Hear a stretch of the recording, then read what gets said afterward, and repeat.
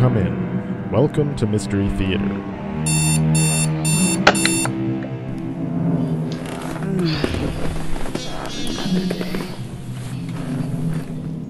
Feels like we're stuck in a circle of work and chores and there's no escape.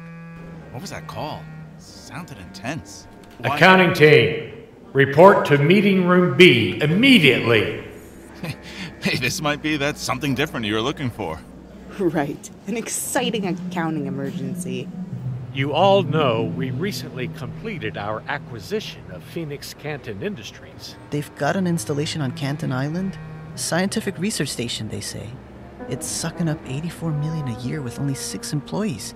I need a volunteer to head out there to investigate this properly in person right away.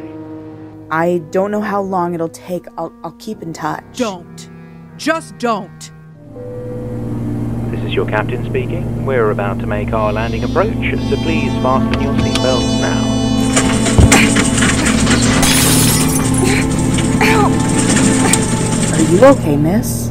I th- think so. Apologies for that unexpected turbulence. Getting some odd electromagnetic reading. The island, uh, as we get closer, it kind of looks like the atmosphere is glowing. Like the northern lights.